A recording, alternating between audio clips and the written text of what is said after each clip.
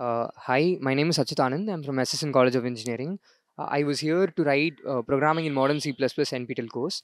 Uh, the exam went well. Uh, uh, the most of the questions were, you know, from the assignments. If you did the assignment well, you could probably like probably ace the exam.